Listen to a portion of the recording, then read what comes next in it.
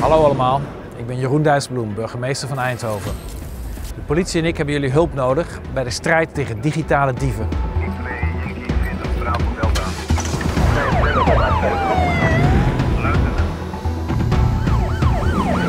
Hoi allemaal, ik ben Dylan van de politie in Eindhoven. Jullie maken allemaal wel eens gebruik van het internet. Denk hierbij aan TikTok, Snapchat en games. Maar boeven en digitale hackers maken hier ook gebruik van. Als cyberagent leer je wat boeven allemaal online doen. Maak jij het internet een stukje veiliger?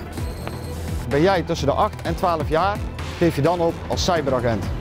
Meld je aan bij HackShield. Help je mee? Ik reken op je.